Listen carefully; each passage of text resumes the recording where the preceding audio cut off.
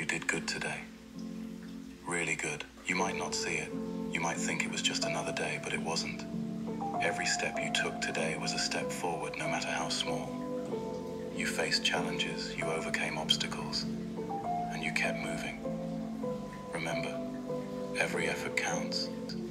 You're building a better tomorrow. Hello everyone, welcome back to my channel. In today's video, I wanted to share with you five days that you need to schedule into your planner, into your life every single month. A month has 30 days and you just need five days to get these things done. So you can definitely make time for it. The new year is fast approaching and I don't want the year to fly past without me doing certain things. And in order to do those certain things, I need to schedule it in. I need to plan for it in order for me to make it happen. In the new year, let us change things up. Let us not wait until the entire year passes us by for us to wonder what we did. These are five days that I think that you should schedule into your planner, into your life every month. In the hustle and bustle of everyday life, it is so easy to lose sight of what is truly important your well being, your happiness, as well as the relationships that you cultivate. Whether it's social, work obligations, or family responsibilities, our busy schedules can often leave so little time for ourselves. That is why it is so essential to schedule specific days every month dedicated to recharging, refocusing, and having fun just for you. So, here are my five days that I think you should definitely schedule into your month.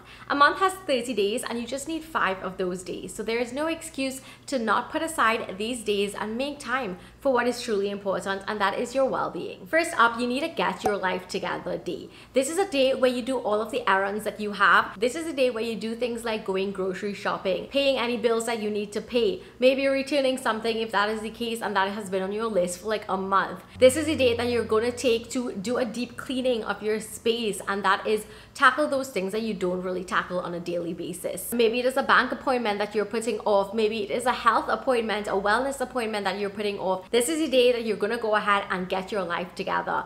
Get those appointments out of the way, get that monthly cleaning out of the way, and tackle those things that you may always just be putting off on your to-do list. Because I know that there are things on your to-do list that you have been avoiding like the plague, and we're not about that, especially as the new year is approaching. We need to be booked and we need to be busy and we need to just schedule in to just get those tasks out of the way and just out of our mind. Next up, it is time to schedule in a learning day or something where you get to be creative.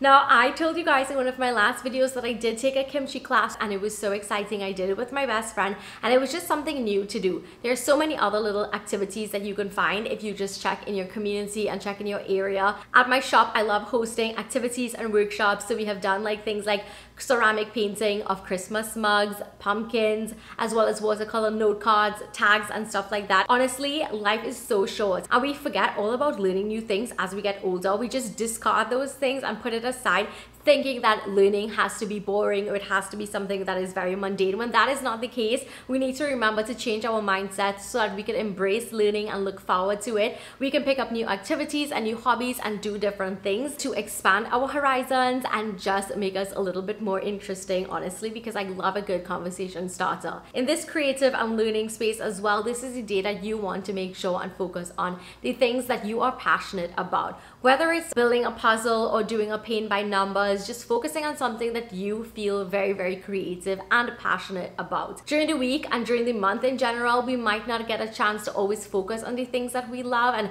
focus on being creative. And that is where the learning aspect, as well as the following our passions and doing something that we love, comes in. Because if you don't get to do it on a daily basis, the least you can do is do it on a monthly basis, just once a day. Schedule in that day to focus on your passions or to focus on learning something new. I definitely have a list of things that I want to try. One of them being pottery. I think that would be something that is so much fun to take a class on, as well as candle making. Those are the two things that are on my list that I cannot wait to go ahead and try and see how that goes. So instead of letting everyone pass you by without doing something fun or without following your passions and your dreams and being creative, this is a great time to maybe set aside that day. For me, I love like a weekend, maybe a Saturday class, a Sunday class or something like that. This is so random, but I ran a 5K earlier this year. Well, I'm, I'm not gonna lie, I walked And I actually signed up for a next one with my friend. And it's something that I'm so excited about because it's something so new and so different for me and something that is such like a learning experience. And I definitely think that I want to do more 5Ks in the next year. And I would not even have known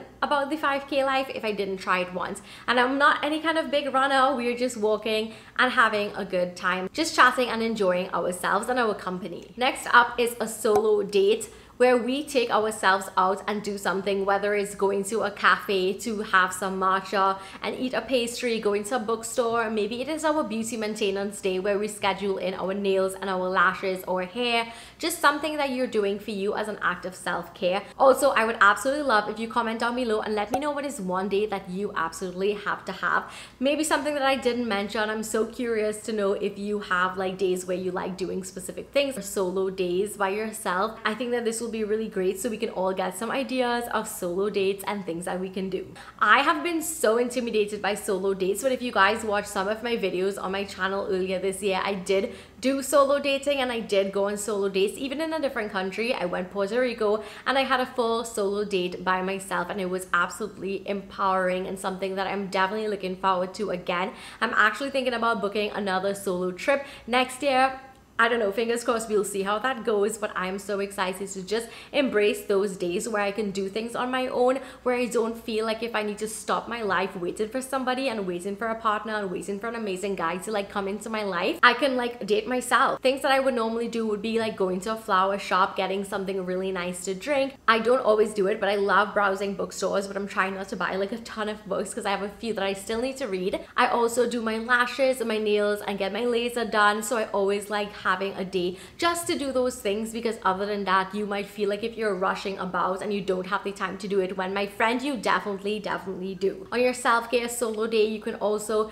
just stay at home. You don't always have to go out. You can stay at home put on something comfortable to wear make a cozy cup of tea make some delicious pasta watch some netflix do a skincare routine and just stay really nice and cozy. So it's all about finding that balance. It is not always about going out. Per se on your solo date it is just really taking that time to make it all about you and focus on yourself and take yourself away from the hustle and bustle and the mundane life. Next up, this is something that I've been really inspired by my friend and there's a day where she always messages me and she says that she's doing a digital detox and as somebody who is always on social media, who's always on my screen, whether it's for work, whether it's for creating content, I have loved this idea so much because it's basically one day where I just don't go on my social apps, as simple as that. The app that I will make an exception for is YouTube and Pinterest, honestly, because I don't like doom scroll on those, but like Instagram, let me just say I have been on a doom scrolling trend with Instagram and I need to just get myself out of that. I don't even have TikTok. I just think it's a very toxic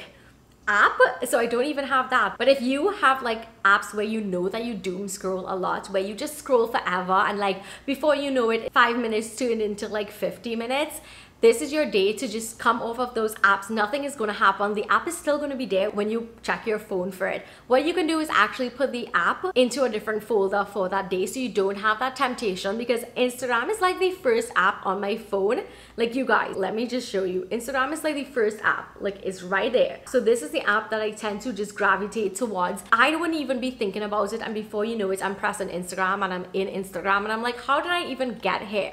So it's that app that you kind of impulsively go on without even realizing it just take a detox from that app for that day. And i have been feeling so empowered since i've started doing that because i've realized how much time i just waste on these apps. And you can actually check it out on your screen time. There was a day where i spent up to four hours on instagram and i'm like how did i spend four hours? Like scrolling. So that was kind of a wake-up call for me. If you would like a wake-up call go ahead and check out your screen time and see. And that will be your sign to make sure and take a digital detox day. And on that day do something else. Go for a walk outside, read that book you've always been putting off, make that recipe that you always keep checking but you never actually do. There's so many things that we have to do in life. I always say life is meant to be living, not meant to be in front of a phone or a screen all the time. Let us snap out of it and let us start living life again without being consumed by a phone or an app because the app is always going to be there, but your time, my friend, is not. And last up, because it's all about balance, we're gonna have a social day.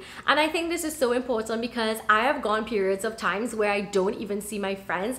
That of course has changed so much now because we have always make time for each other, even if it's just one day. For instance, going on the 5K or taking a cooking class or just doing something like that. It's like a friendship date. As we get older in everybody's lives, we start to do different things. We start to be consumed by home, kids, work, and all of these things. And sometimes we can lose track of our friendships and that is just so sad when you really think about it because before you know it you might be so much older and you have not even seen your friend who lives in the same country for years. That actually happened to me once and I just used that as a wake-up call because I didn't want to be like that anymore. And even though we live very very far apart from each other we always schedule in that one day at least to make sure that we meet up with each other. So don't let it be a situation where you just let time pass and you lose your friendships. Think about planning a girls' day. Maybe have your friends come over and everyone take turns hosting each other, doing something fun, having a DIY night, having a cocktail night, having a game night, having a paint night, and just doing different things like that